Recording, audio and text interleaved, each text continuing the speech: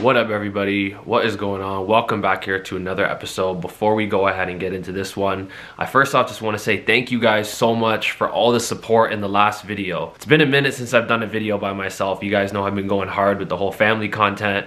My dad was here visiting me for like the last three months. So, you know, putting out my first fully solo video in a minute, I wasn't like worried, but I was just like, damn, I don't know how they're gonna, you know, take this. The video is actually going crazy and you guys are showing so much love and you guys have been sending me so many amazing messages on Instagram and I've been trying to respond to as many of them as I can. So um, if I haven't responded to you, you know, just hit me again or whatever. I'll do my best to get back to you guys because your words of encouragement honestly mean a lot to me. So thank you guys so much. Before we get into it, make sure you guys like this video. Every single time that I ask you guys to like a video, you guys do. And then it helps your boy out with the algorithm. And you know, we're fucking, we're pushing this year. So help your boy out. Take a minute, like this video. And also take a minute, take a big sip of water. I'm gonna give you guys a second right now. Go get a sip of water, make sure you're drinking enough water because I know you haven't drank enough water today. All right, now this is definitely going to be one of my most personal videos that I've done. For the last three years where I have put my life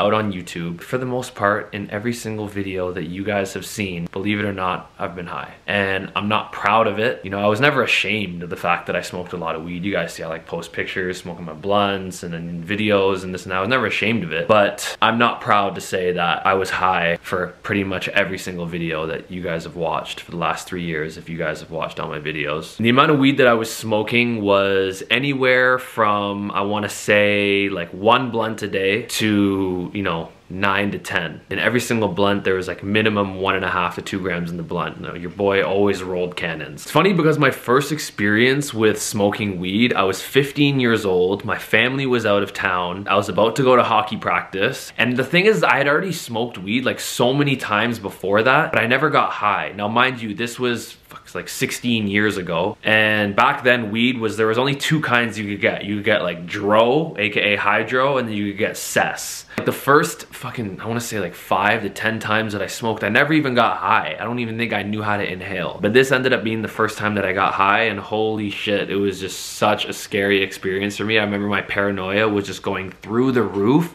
I called my mom crying. So after that, I was just like, yo, this drug is not for me. I'm never gonna do it again. There's just no way, like who the hell would ever wanna experience that? I don't even feel like I'm myself you know, I was an athlete growing up, so I just never drank, I never partied, I never did drugs or anything like that. So from 15 all the way up till I wanna say like 27, 28 is when I kind of started smoking a little bit again. I was just sober. I never really drank at all. I had so much responsibility throughout my 20s. I was working with my family in the restaurant business. I had a lot on my plate. So I just didn't even have any time to entertain any of those types of things. But then I was about 26, 27. I started dating this girl and we ended up dating for a few years and she was heavy into smoking weed and next thing you know, you know, I'm just smoking on the little pens, taking a couple hits and I'm like, all right, fine, fuck it, I'll try the flower. Start smoking flower. The next thing you know, I'm smoking backwoods and you guys know once you start with the backwoods it's just no point in return after that backwoods are a very steep and slippery slope do not go down it. I just became addicted to them because, you know, once you get addicted to it, you're not even addicted to the weed at that point. You're just addicted to the tobacco. But then it wasn't, you know, until like a few years ago where I started finding a passion for music and you guys were showing me so much love when I first started doing it. I was like, holy shit, you know, this is so fun. This is like something new to me. I was never the most creative person growing up and this was something that I felt like was just, you know, like a new page for me. It was like a new chapter. I'm like, damn, am I really gonna start just going to the studio and you know making tracks and putting it out and now next thing you know I got tracks with like you know multiple millions of streams and you know crazy amounts of feedback that you guys have just been so supportive and everything so I heavily associated smoking weed and making music. I never, ever, ever was able to write or record being sober. Weed was always involved in that process and I felt like I needed weed in order to open up that creative door. That's when things tend to become tricky and they can actually become dangerous is when you actually start depending on the drug for certain things. But I'm one week sober now, six days to be exact, and I've tried recording myself once while being sober and it was a tremendous fail and I was really discouraged and I was like, fuck man, does this mean that like in order for me to make music, I gotta like figure out a way to do it sober or uh, like uh, well, how long until I can smoke weed again, you know, because I'm on this whole like cleanse right now. So I was stressing myself out for a little bit, I'm not gonna lie, but I'm not worried about it. I feel good right now and that's the most important thing. And you know, when I cross that bridge, I'll cross that bridge. But yeah, my journey with smoking weed was really weird because I started to just become more and more dependent on it. I felt like when I would smoke, I'd be more silly. I was less shy to be on camera and you know, it was my way of being more creative.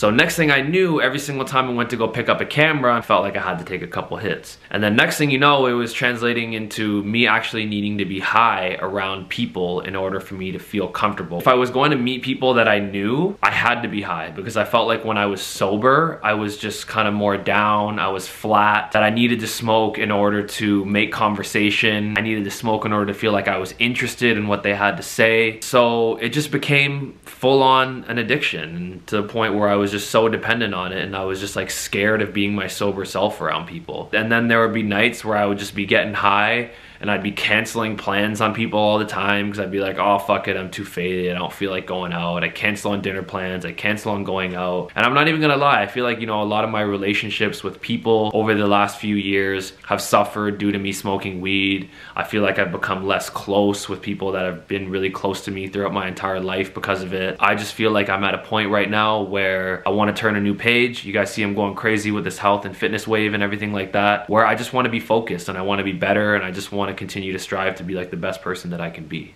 But yeah, I don't want to hold you guys up. I'm gonna go ahead and roll this video. I'm gonna check in with you guys throughout the video and then as well at the end, I'm gonna go into a little bit more detail in terms of how I feel now and things that I kind of have done to basically get through it.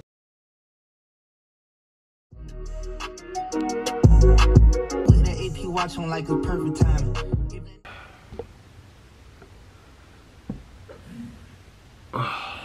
it's about 6 a.m. right now. Oh, no, 6.30 actually. Check it out. And I went to bed last night at like 11.30, so not bad.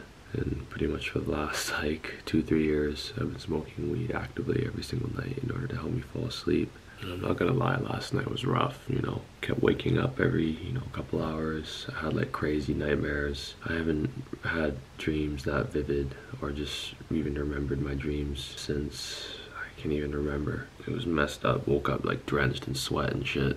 Which sucks because it's just like, fuck, is this, I just like the first thing I asked myself this morning was just like, fuck, is this literally what it's gonna be like for the next few weeks or month or whatever if I were to completely just like cut out smoking. Ah, that's fucked up, bro.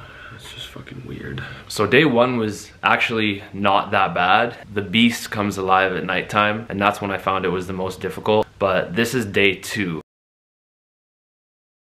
My body's fully going through withdrawal. I'm my like I feel anxiety and shit during the day sometimes where like I'll just be sitting and I'll just feel anxious. I'll just be like like my chest will kind of start to feel tight and I'll be like go like that. Other thing too is like, you know, my mood for sure is kind of like more down. Anyways, my point that I'm getting at is that it's only been two days and it fucking sucks. You know, we all got our inner demons, we all got our problems that we're battling, things that we're going through, but I'm really hoping that whatever it is that you guys are going through, maybe it's something else, but that we know we just push through together. And I feel like you know, though we don't necessarily maybe like talk or some shit, but like, you know, you guys are just part of the gang, part of the, you know, part of the movement this year. So, but anyways, I just wanted to share that with you guys. Last night was fucked.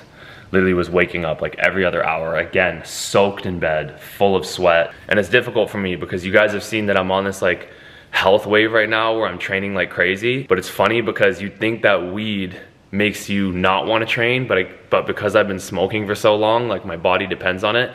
Now that I feel like I'm kind of going through withdrawal and experiencing symptoms, I I'm so unmotivated to train, but I'm still gonna do it. I'm still gonna get my work in today, but I'm definitely not waking up with the same level of like jump and like ready to go like I have been for the last little while, so.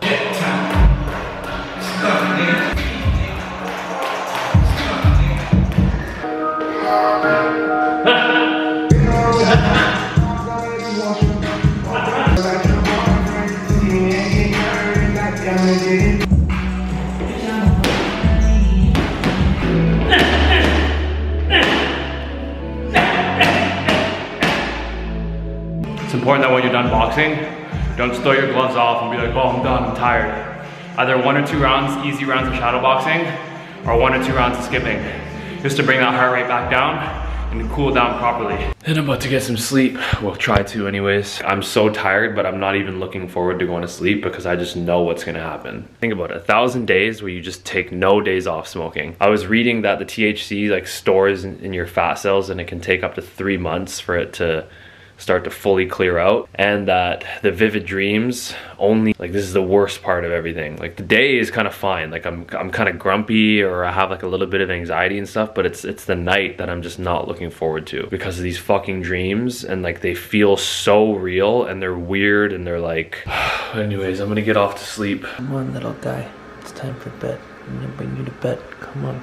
It's not like i'm fighting an urge to smoke. Like i don't even want to smoke. Like my i feel like shit you know. Anyways, good night, guys. I love you all. Check in with you tomorrow. I'll let you guys know how I feel.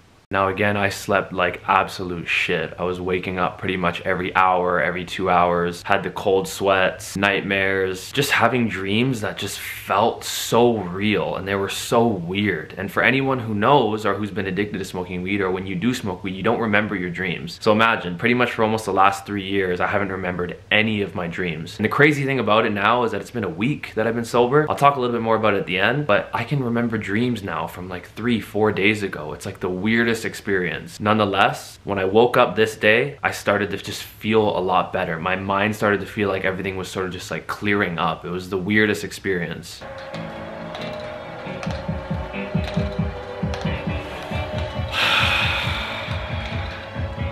Your boy is feeling good today. If I just stay on this trend, I'm gonna feel like reborn again, like what everyone has been saying. So we're gonna go for a little run this morning and see how I feel. We're gonna see if we can push today.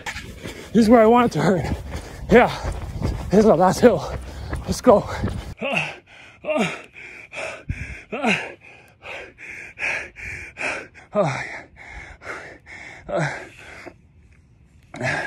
That's gotta be a record time. I don't care what anyone says. There's no way it's not a record time for me. All I did there, I swear to God, I just kept picturing my dad like right here being like, come on, son, come on. When you're running or doing anything difficult, if you're training by yourself and don't have that person to push you, because I know it can be hard, try to picture that that person who inspires you or whoever that helps you, you know, get motivated. Just goes to show you, put your mind to something. It gets easy with time. So as you guys can see here, we got my standard breakfast, two eggs, overnight oats from my boy Anu, as well as two eggs there. Now, I thought while I was doing this, I would show you guys how I do my dog food. I know this might gross some people out, but this is chicken liver. Put it in a poly bag. I'm gonna go ahead and take this. So I just go ahead and lay it flat so it can freeze. That way, once it's frozen, I can chop it up into cubes and then I can mix it in with the other meat that I buy for them. So anyways, your boy's about to head to bed right now, but check it out. Your boy picked up a fucking tongue scraper fam. Things are starting to get more clear, boys and girls. Take in that all of this realization came from literally me just brushing my tongue, then being like, yo, I need to quit smoking, then being like, holy shit, I just need to quit smoking weed altogether. It's crazy how one thing leads to the next. You just never know where things are gonna take you. You just gotta always stay, you know, open-minded, stay clear, stay focused. So tongue scraper on deck, going to bed right now, not looking forward to the nightmares because, you know, I had a nightmare last night that guy was trying to stab me. But hopefully there's no more nightmares tonight, but, you know, probably will be, but it is what it is. I love how they package everything. They always package it so nice and like fresh. So this is uni, aka sea urchin, 56 US, which I know sounds really expensive, but when it comes to spending money on food, I've just grown up never feeling guilty about it because, you know, it's just been my life from the time I was really young. But uni is an excellent source of lean protein. An amazing snack to have. You just put it over seaweed, a little bit of soy sauce, fire. Wow. Look at that. Bluefin tuna loin.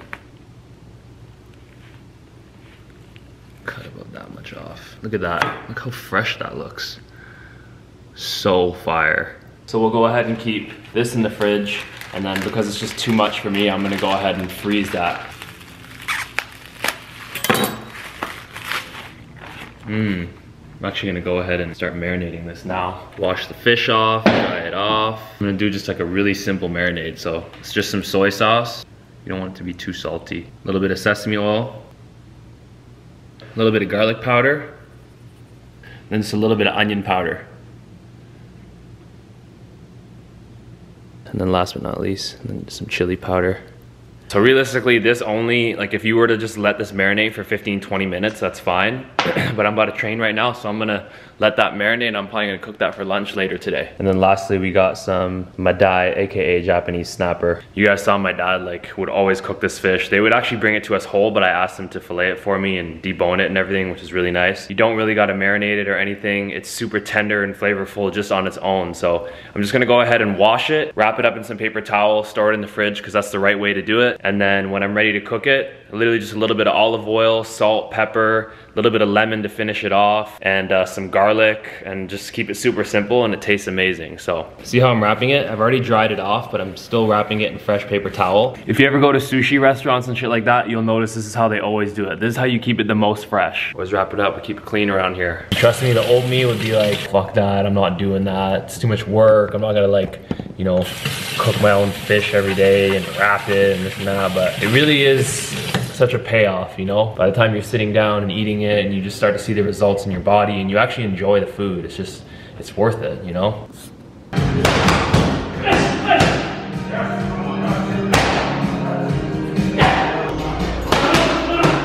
So this is what the fish looks like that I was marinating. As you can see, your boy just got a fresh cut. Just lightly dusted it in flour, a little bit of olive oil in the pan, caramelizing a little bit of onions, of course, you know my favorite, a little bit of guacamole on the side, and then always some boiled greens. So check it out, this is what my feast is looking like.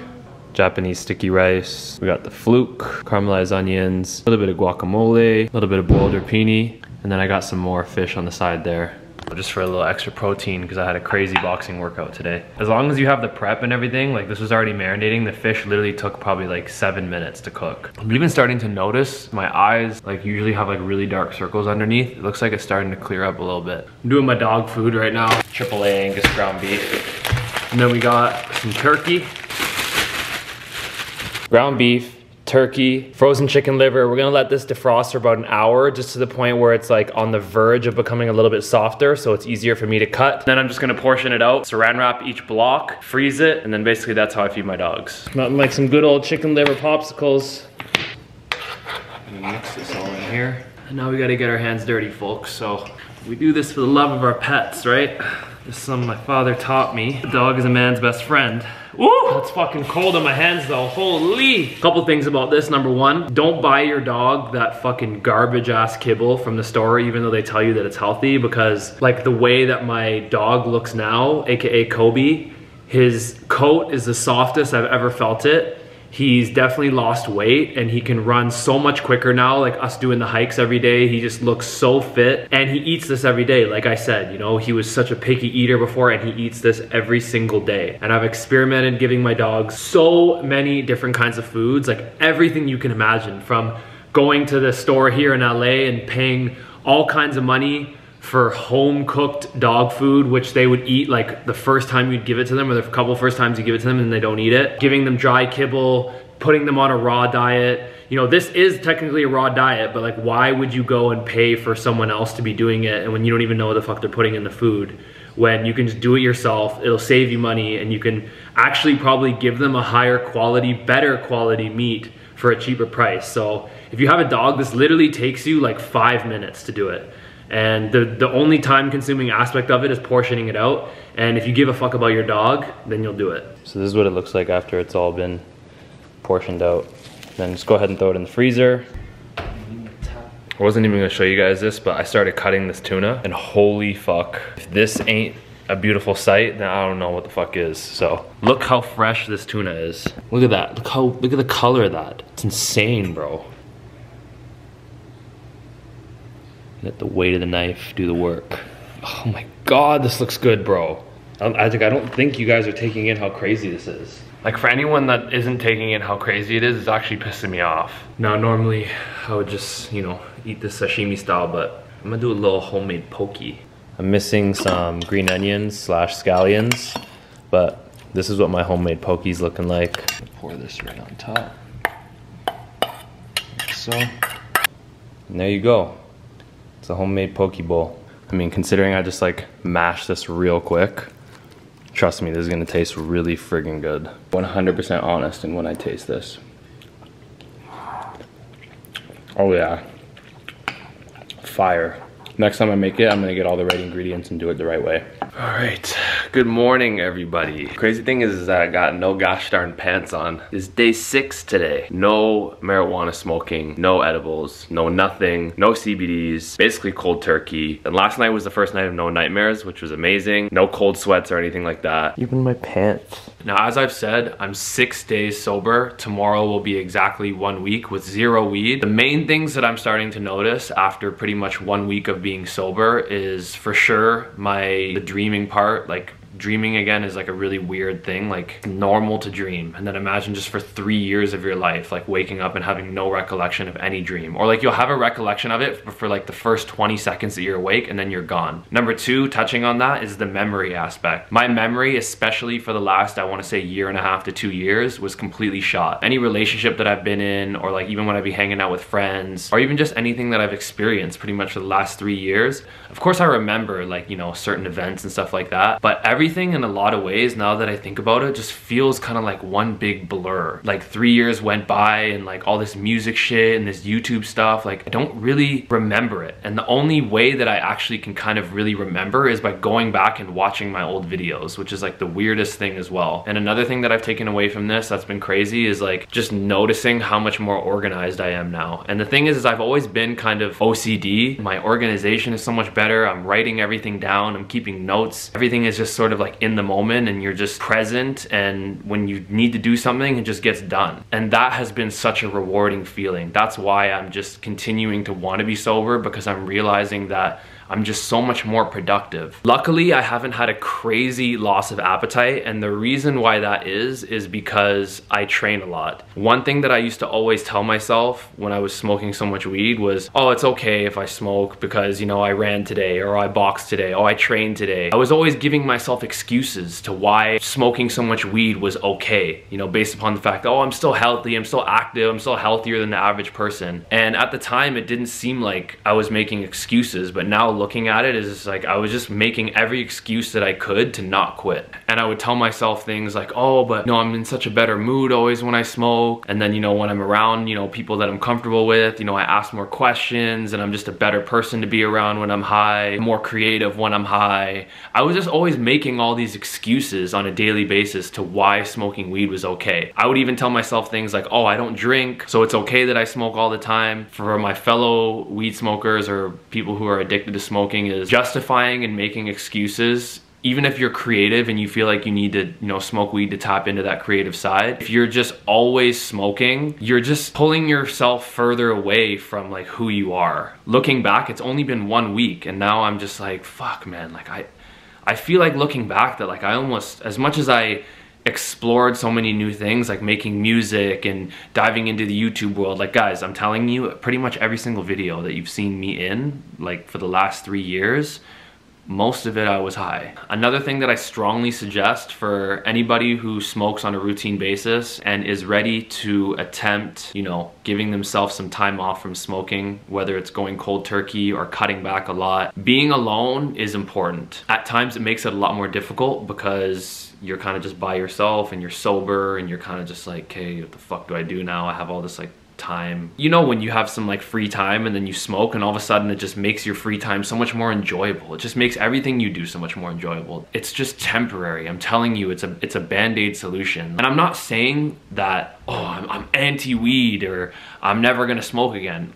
I will smoke weed again at some point, you know, but like I've said, even in my last video, you know, with food, the type of foods you eat, um, the amount that you exercise, just anything that you do in life, moderation is key. And it's important to find balance in your life. And I hope that anyone who's going through something, maybe it's not even marijuana or drug related or anything like that, but I'm hoping that this little journey that I'm on can help inspire you to let you know that whatever it is that you're dealing with, whatever inner demons that you're battling with, there's a way out. But yeah, the one thing I definitely do suggest is that if you're gonna cut back or take some time off smoking or go cold turkey is just, you know, spend some time alone because you don't really want to be around people who might not know or understand exactly what you're going through because the mood swings that you're going to experience are going to be pretty heavy. And I noticed that I was extremely irritable throughout the first, especially like three, four days. And I just really kept telling myself, I'm like, this is part of the process, this is part of the process. You got to stick to it. You got to go through it. But yeah, I'm definitely going to touch more on this in my up and coming videos because like I said, it's only been a week. Like I said, whatever it is you're doing,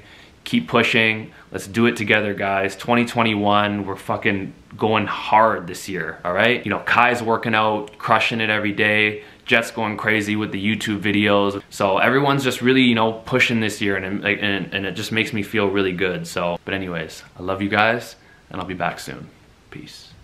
What up boys and girls? Alright, so you're gonna want to tune into this next episode that I'm dropping next week. Now, you guys know that my dad was here for the past three months and trust me, don't think that for one second that he left and I didn't pick up some gems along the way and I promised you guys that I was gonna show you some stuff that he taught me. Now in my next episode, I'm gonna be showing you my favorite dish that my dad taught me. It's super easy, super simple to make and trust me, if you make this, whether it's for yourself, whether it's for a date, whether it's for friends, whether it's for family, you are going going to impress them. So you're not gonna wanna miss next week's episode, guys. Thank you so much for the love and support. Don't forget to tune in and make sure you guys like this video and hit that sub button. Peace.